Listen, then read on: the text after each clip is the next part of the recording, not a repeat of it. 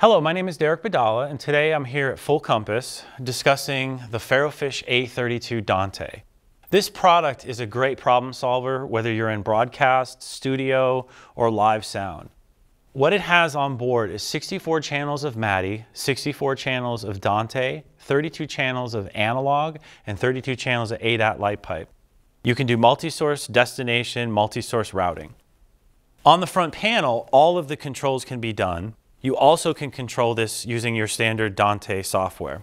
For example, I can go into my menu and actually go in right to the setup and control things like levels, gains, I can see all the metering. But typically what a user is going to do is go in here and you can see all your routing, your outputs to inputs can be set very quickly, very simply. And you also can lock these settings out if this product lives in a like equipment room or something like that. You also have the ability to control gains on this output on the, and inputs of the analog signals.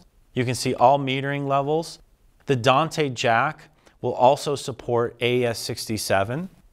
This unit, as I said before, is perfect for live sound, studio, and anywhere you need to convert gear that's not normally on Dante and get it on the Dante network, whether it's analog, ADAT light pipe, or MADI. If you're using AES/EBU, our sister company, RME, we make a AES/EBU converter that works very nicely with this product.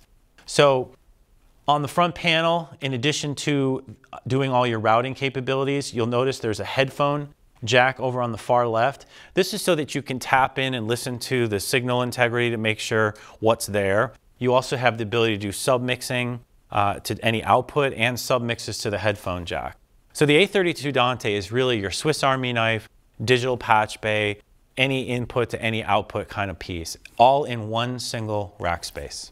To learn more about the Ferrofish A32 Dante, go to fullcompass.com or contact your Full Compass sales pro.